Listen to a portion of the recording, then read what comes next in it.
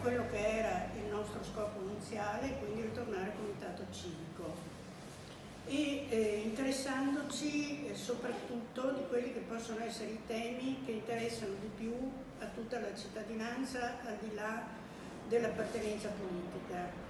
Fra i temi c'era sicuramente quello dell'asilo nido che era presente nel programma eh, di TUAP per quanto riguarda le elezioni ma anche nel programma delle liste eh, di, tutte le altre liste praticamente e quindi abbiamo pensato di iniziare proprio dall'asilo nido tanto più che eh, l'amministrazione di Portoguaro proprio nello stesso periodo ha manifestato l'interesse ad aprire un, un asilo nido a Portoguaro.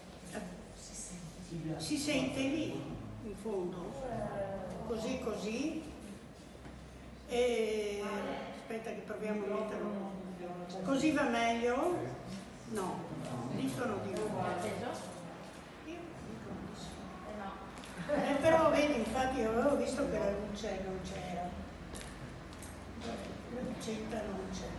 No, no, ma solo tieni su e Vado? Così ecco, bene insomma.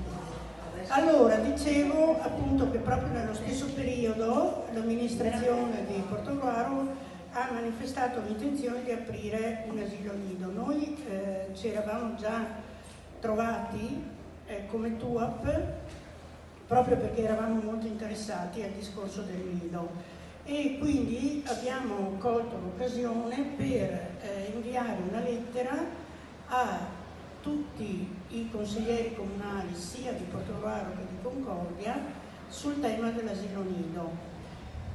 Ovviamente abbiamo inviato anche a Concordia perché, eh, perché le famiglie di Portogruaro usufruiscono del nido di Concordia e quindi ci sembrava giusto coinvolgere anche l'amministrazione di Concordia.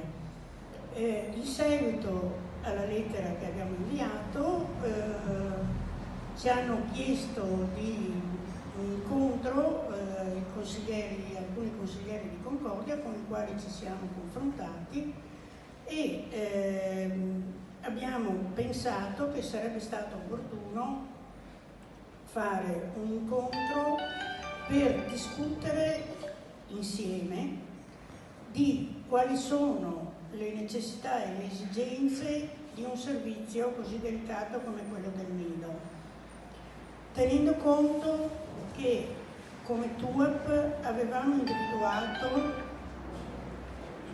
alcuni punti fermi. Il primo era che non c'era nessuna competizione né concorrenza fra eh, Portogruaro e Concordia. Quindi doveva esserci un'integrazione del servizio che rispondesse in maniera più opportuna alle esigenze del territorio, ma senza in nessun modo innescare processi di concorrenza.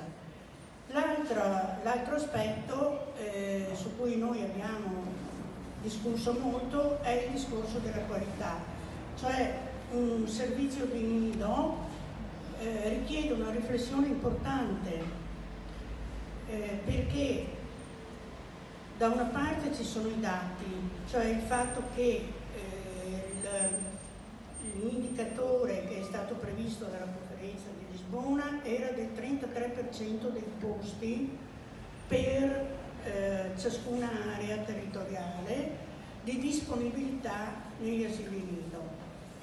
Siamo molto lontani da questo punto, ma sappiamo anche che questo è un tema così importante che anche all'interno del nazionale di ripartenza e resilienza c'è uno specifico capitolo per i nidi con finanziamenti anche dedicati.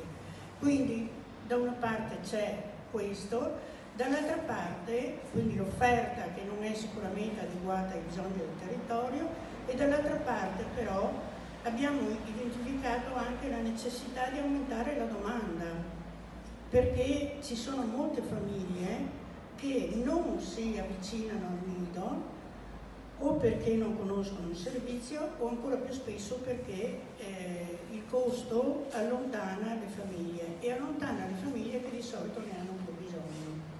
Quindi per questo motivo ritenevamo molto importante che ci fosse una riflessione complessiva su quella che era la qualità del servizio di nido che si intendeva proporre e anche su quella che eh, è diciamo, l'intento delle amministrazioni comunali, qual è il loro progetto per l'asilo nido.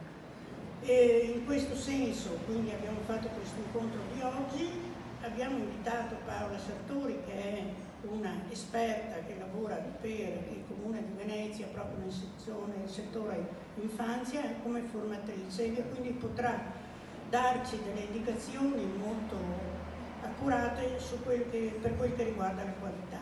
Abbiamo invitato le amministrazioni comunali e ringrazio qui eh, il sindaco di Concordia che è presente, proprio perché riteniamo che eh, sia necessario lavorare insieme per costruire un servizio di qualità rivolto al territorio e che faccia aumentare sia l'offerta che la domanda eh, del servizio di nido.